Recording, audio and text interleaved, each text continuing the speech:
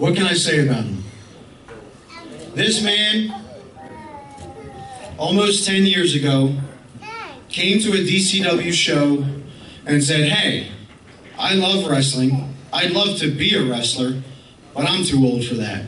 My body's too beat up for that. And when he spoke to the DCW offices about our training facility run by the great Mark Harrow, they said, come on out, come on out to the school and try out. He went out there expecting to be maybe a referee, maybe a manager. He wanted to live his dream. And after speaking to Mark Harrow, Mark came to the DCW offices and Mark said that this guy's dream is to be a wrestler, not to be a manager, not to be anything else. So he started doing everything that the youngest, fastest kids were doing in the wrestling school at the time, and he kept up. And he eventually debuted in DCW in Farmington, Delaware, and he debuted in a championship match for the now defunct Future Shock Championship.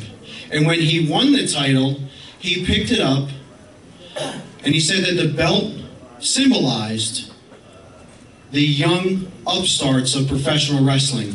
And he threw it in a garbage can. And that was the moment that we knew that this man was dirty. Over the next few years, he won the DCW Tag Team Championships with Mozart Fontaine. He won the Tag Team Championships with Mark the Dragonfly Harrow. He left DCW to pursue other companies and held gold and all of those other companies also. A few months ago, he came back in front of all of you and told you about a debilitating neck injury that is forcing him to hang up the boots. After he did what everybody said could not be done, he came back one more time. Last month, at the 2019 Rumble for Glory, Dirty Sonny Deeds wrestled his final match, not just in DCW, in professional wrestling altogether, against one of his former students, the DCW champion Robbie Radke. Dirty Sonny Deeds left it all in the ring that night, and he left it proving that beyond an injury, he could still go. If there was no neck injury, Dirty Sonny Deeds would be competing here tonight, perhaps as DCW champion. But we have one better. We're here tonight, myself and all of you, to announce that Dirty Sonny Deeds is going into the 2019 DCW Hall of Fame. Wow. Just want to say that uh, just a little tidbit of information. Zac covered a lot of things, but like you said, it was in this very building that I watched my uh, very first DCW. Good Lord.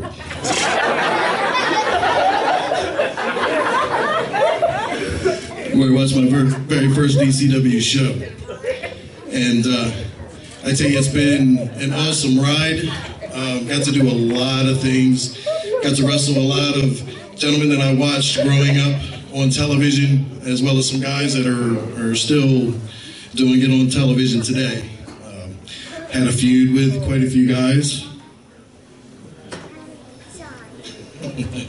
and um, it's just, just just been an amazing, amazing experience. One thing that I want to say is, like Zac was saying, when I stepped in to start training, I was 37 years old and everybody, you know, all the messages these days are for the kids to go out and chase your dreams. And uh, I'm here to say that you're never too old uh, to chase your dreams. If you want it bad enough, you can still do it. Hell, I, this old man did it. I want to thank uh, some people. Um, want to thank the management and owners of DCW. I want to thank uh, Zac the Ripper Conner. I want to thank my family who supported me through every show. And um, no matter if I was being cheered or being booed, they were well participating in everything with the crowd. And uh, my daughter, no matter how mean and nasty I was being in the ring, when I would look down at her at the front row, she would be smiling or laughing, and I'd have to quickly turn my head because I'd want to laugh or smile too. So thank you for that. But um, I just want to say, guys, it's been an amazing, amazing ride. Thank you so, so much to DCW, but thank you to all the fans. I was asked when I first started training, um, walking around like I was 195 years old, my back hurting and could barely walk, my hips hurting and everything, and I had someone ask me, Sonny, is it worth it?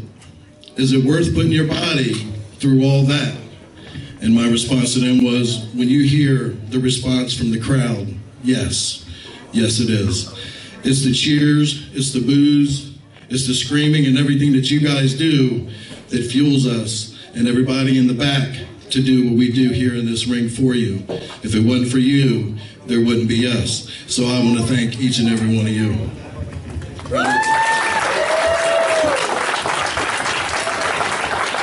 I think I'm about finished, Zac. Thank you so much. You want to come take the microphone and uh, we can keep this thing rolling. Thank you, guys.